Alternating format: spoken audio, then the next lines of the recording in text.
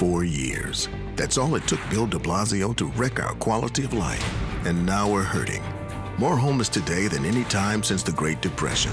Shameful. Housing prices and property taxes so high, people struggling.